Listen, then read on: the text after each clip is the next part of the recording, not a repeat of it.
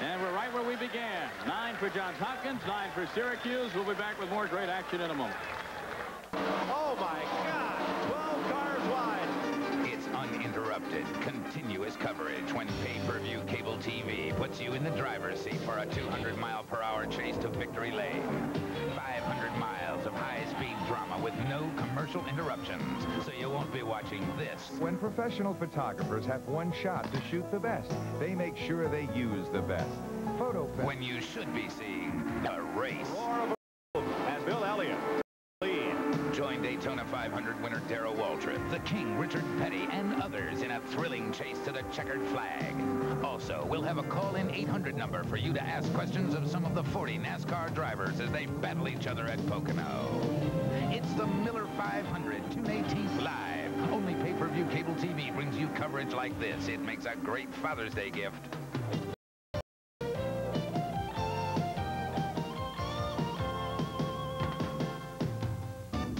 Strike it rich with the PBA Summer Tour. Our season gets rolling as America's top seniors battle it out at the Showboat Senior Invitational. Wednesday night live on ESPN. Stunts for experienced thrill seekers. Stream to record. See them on Guinness Records World of Sports. Wednesday night on ESPN. Back at Byrd Stadium in College, Maryland, on the campus of the University. Ryan will big for 30 attack.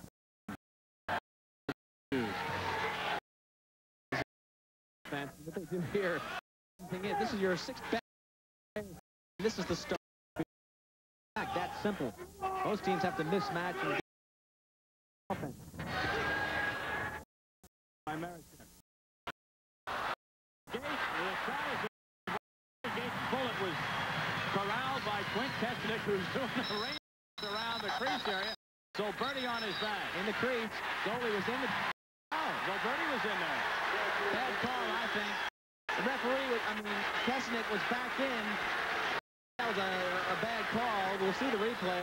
If I'm to right, in there? If I'm right, the goalie stepped back in. Kessenich. Now watch this shot, first of all. The only way this shot didn't go in is because it hit the stick of Kessenich. He stood tall. But now watch him go around one whole time. He goes out of the crease. That means he can't go back in.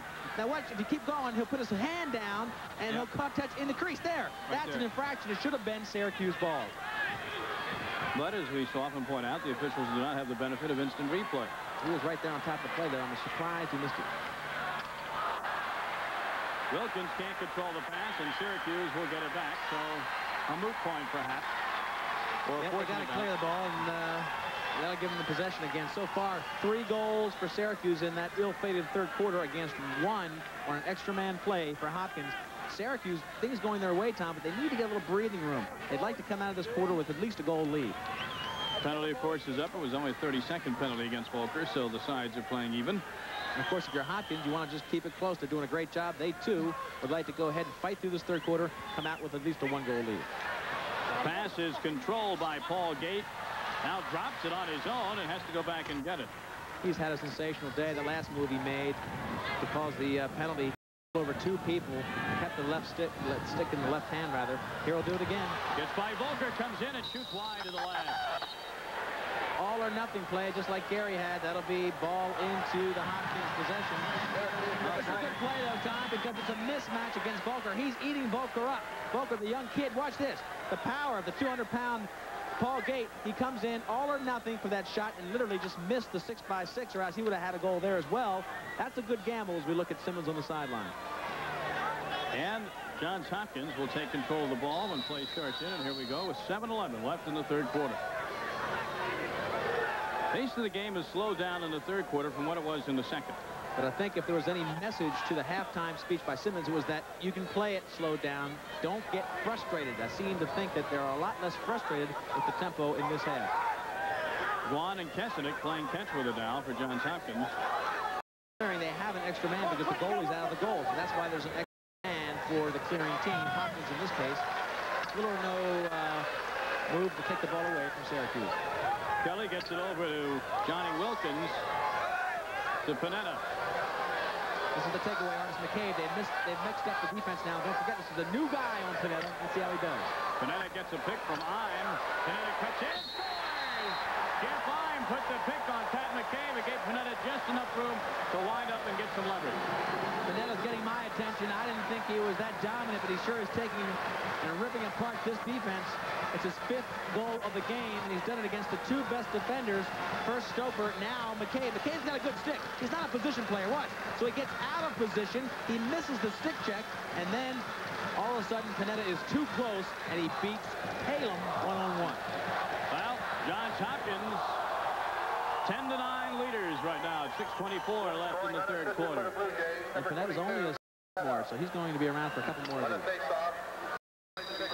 Back in there to take the face-off for Syracuse is Kurt Pratt against Grayson Pollock, so maybe Roy Simmons is going to alternate his face-off men. And Syracuse initially has possession in the person of Steve Scaramuzzino. But he can't hang on, and Hopkins looking to come back up with it, and they do. And this is Billy Guan. Hopkins showing you the great team concept, uh, Tom. Many times in this game, even though the numbers are heavily in favor of Hopkins, many times Syracuse has gotten the faceoff, but just haven't stayed with it long enough. Hopkins never gives up, and consequently come out with it more often than not. Hopkins in the Syracuse zone. They're fine against Stoper over there on the far side. I'm trying to cut in past Mark Stover. Didn't work. Grayson Pollock gets it back to Greg Kelly. Well, he's got a good match here against the short stick. Kelly takes the shot. Doesn't get through on goal. It's picked up by Pat McCabe. McCabe still pressured behind the net. Long pass, and it's corralled very nicely there by Dan Cahey. They got something going. If they push it a little bit, Hopkins drops in, though, cuts off the transition. Five minutes and five seconds left, third quarter, clock run. Maryland, rather Syracuse and Johns Hopkins for the national title. Blue Jays lead at 10 to 9 from College Park, Maryland. TNT midfield's in there, that explosive midfield, the Gaits, and of course, Dumpson. Marechek taking his time, looking over the situation. Good matchup for uh, Marechek against McNeely. He gets in, gets his footing, shoots, and Kessenich quick with it. Stick again with a That's why he's first team All-American. It's just tough to beat. I think the biggest difference in this game, maybe in the bottom line so far, is that Kessenich is making the big saves. Halem is not. A great goalie against a good one.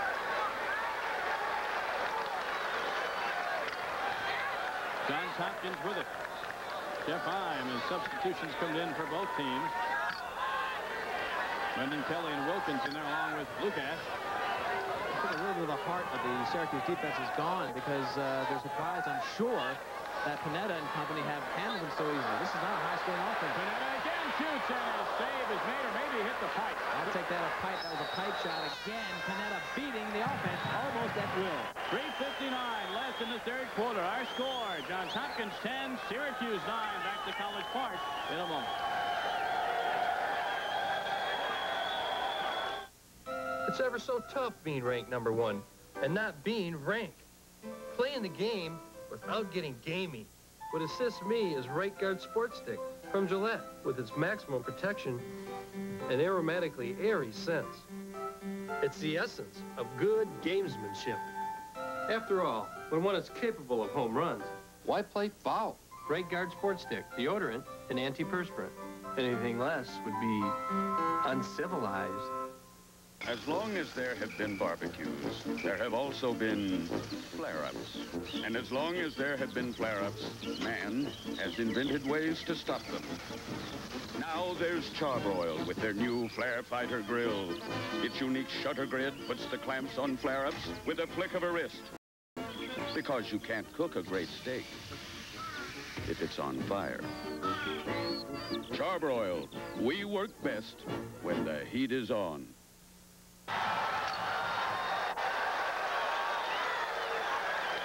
Less than three minutes now left in the third quarter. Don Zimmerman's Johns Hopkins Blue Jays lead Roy Simmons, Syracuse Orangemen 10 to 9. And they've really, again, I know full well how good this Hopkins coaching staff is, but they continue to shock me and impress me every year. I think they're a little bit on the light side of the talent on this field, but they are controlling the game. This is Brian Lucas. He comes in, shoots, scores, and it's 11 to 9. The goal. Palem is really talking to himself. He's looking at the sideline, giving the coaching staff an excuse. He's saying it was tipped, it was tipped. Simmons has got a real tough decision here, Tom. He may have to pull Palem. He's not effective at all today. Watch this shot. Come right down. Lucas that beats his defense easily. Hall and just shoots hard against Palem. Not a great shot. A shot that Palem's got to save if you're playing in the championship game. His seventh goal of the season. A lot of pressure. We'll have to see what Simmons does. He's going to be pressured to maybe make a change in goalie. I'm not so sure. Nobody's warming up at the time. Brian Lucas goal, unassisted. Gives Hopkins a two-goal lead with less than 2 minutes 30 seconds to go in the third quarter. But remember, Syracuse is so explosive on offense. This is Paul Gait. Against the short stick. Double teamed his Gait, trying to find somebody open. Gets it over to Greg Burns. Now Syracuse has to pull back for a second. This is Rodney Thompson. Dunston looks like he wants to shoot. Gets in there. He's double teamed. Controls again, and Dunston does a nice job getting the shot away. It's wide, but Syracuse should maintain possession, and they do. Dunston's forcing things a little bit. Uh, you ought to take your time. Again, you've got two great shooters out there in the Gait brothers, Gary and Paul. Check coming out. Jim Egan going in for so they're looking for a little bit more ball control. Egan started on this team last year, Tom, for the national champion team of Syracuse. So they don't lose anything with Egan in there. What they get is a guy who can control the ball a little bit better, not force it like the young Marechek might. Zolberti, they call him Z-Man. He's trying to get open behind the net.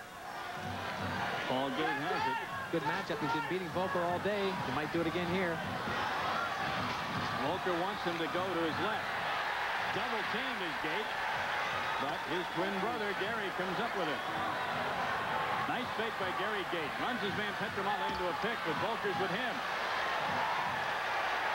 Good defense by Voelker. The crowd appreciating the way that Voelker and Pietramala are playing the Gait. The best against the best. Pietramala knocks it away from Gary Gait. Don't forget, we're down here in the South. They want Hopkins to show that they get they deserve a little bit of respect against these fabulous Gait brothers who get all the media attention.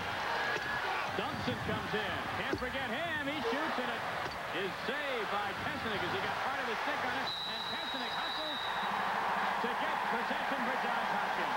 I tell you, we had a weird angle on that, Tom, but I thought the ball went in the goal. I did too for a second. I thought it went up the far net. Let's see if we can see it here. Good possession for Syracuse, almost two minutes worth. Watch the ball come in. Not on that shot, but on the this shot right here. As we rolled it far farther forward, I think it came back and hit the net right behind him. Right here on this shot. No, doesn't look like it. An optical illusion. Optical illusion. Anyhow, Johns Hopkins gains control with under a minute to go now. Third quarter, 44 seconds to be exact. And Hopkins has got to be ecstatic. They've maintained their two-goal lead throughout most of this third quarter. Zimmerman barking out instructions, keeping the intensity level high on his team. They've scored two straight goals and refusing to give in to Syracuse. Syracuse with a lot of pressure now. Two goals down. This is a new thing for them. Oh, Ciccarone fast to Kessenich, and the pressure forced Kessenich to carry it out. Syracuse got a golden opportunity now with 22 seconds left in the quarter. Sure would love to pick up one here.